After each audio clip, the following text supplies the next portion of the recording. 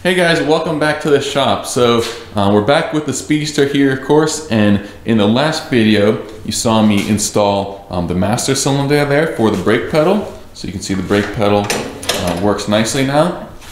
Um, and I kind of teased that this week I would be making some, some um, remote reservoirs for it. Uh, the reservoirs that came with it are these stupid plastic things. Um, and you know, of course, you know, a little hose comes out the bottom there that you connect to that outlets down there. And you know, I had a couple options with this. Um, the most convenient place to put these is, you know, on the outside of the firewall here. Then you can like very easily access them and all that, but of course it just looks terrible out here like that.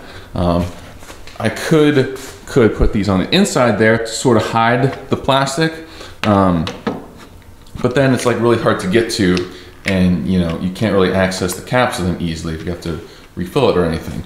Um, so that's kind of dumb as well. So I decided that I'm gonna mount them on the firewall here on the outside, but I'm not using these dumb plastic things. Instead, I made this beautiful piece of stainless steel here. And these are the reservoirs here. And they will bolt, you know, somewhere in there for the, um, the brake fluid. So you can see all custom machined, welded together. So I'm going to show you in this video um, how I made this beautiful piece here. So um, enjoy the video and thanks for watching.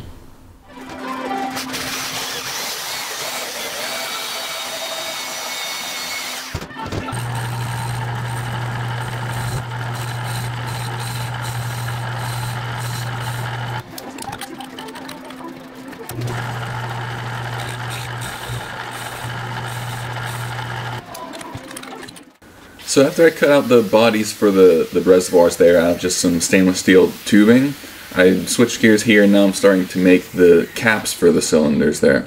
And so I'm starting by just cutting a blank there out of a piece of, I think that's 3 eighths of an inch stainless steel.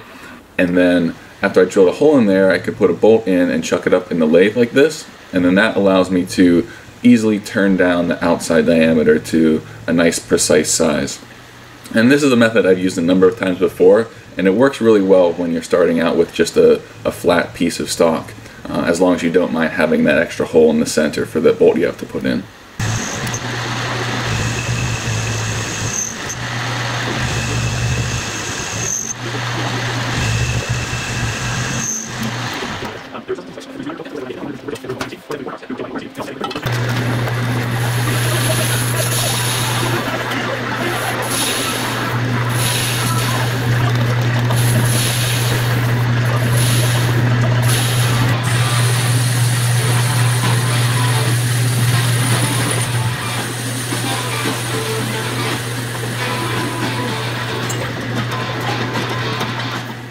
And to make the caps a little bit more easy to grip, you can see here what I'm doing is I'm cutting some grooves in around the outside edge using this small little turntable. And I've used this for this sort of purpose a number of times. Um, the turntable is pretty small, but it does have an indexing ring on it so you can turn it a precise number of degrees in between each cut, which comes in really handy here. And it's kind of old and clapped out. That's why I have this, this extra step clamp on top of the cap there so I'm loosening that and then clamping it down in between each cut just so that the turntable itself doesn't wobble on me, which it definitely would if I didn't have that, that extra clamping force there.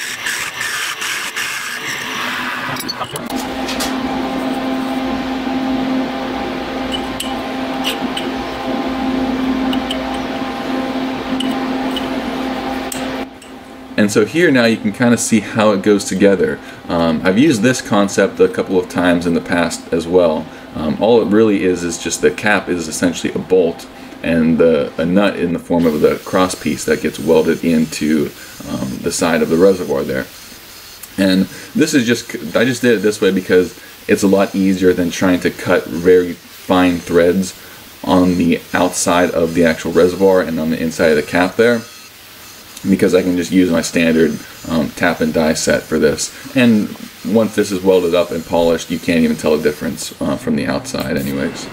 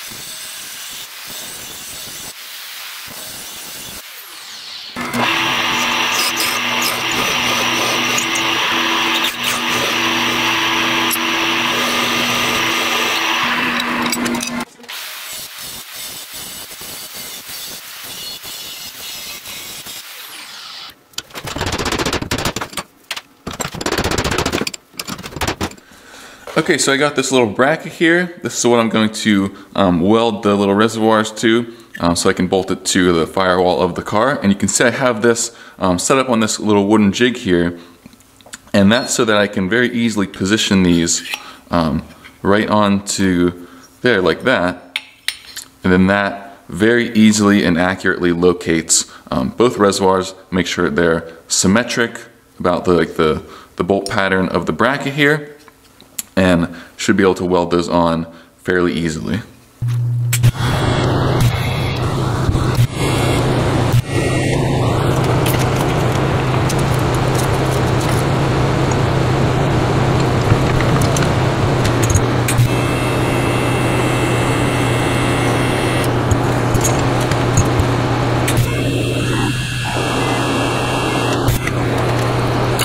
And so now that those are all welded up, one of the last steps here is to add a vent to the top of each of the reservoirs so that they can actually drain fluid down to um, the master cylinder.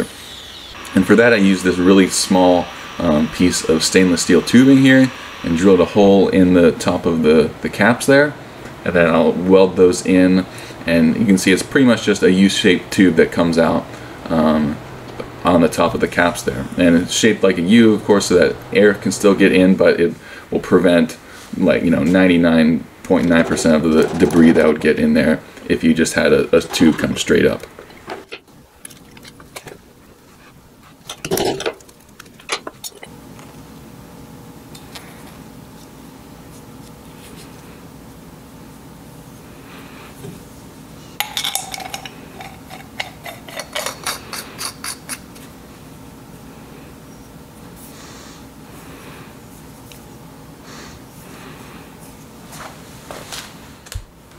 All right, so I hope you enjoyed that video there. Um, I know I certainly had a lot of fun making these nice little um, remote reservoirs. Um, and to me, this is, this is what makes this whole project so much fun, is the little details like this. Um, of course, it, it could be easy to just um, bolt on these plastic reservoirs that came with the, the master cylinder.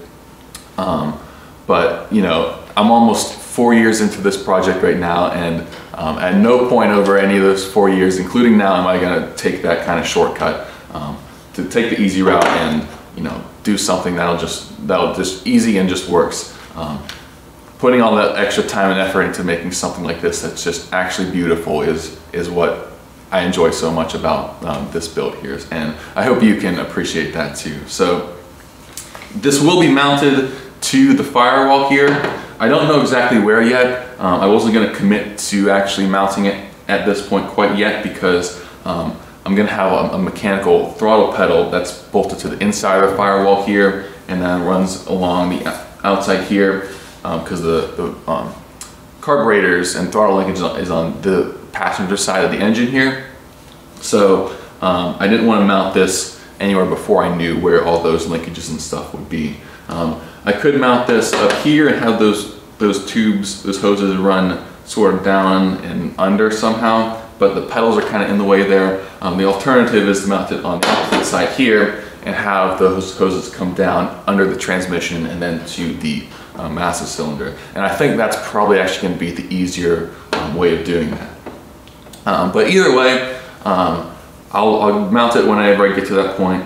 Um, but it was a lot of fun making this and hope you enjoyed it too. So thanks for watching and I'll see you next time.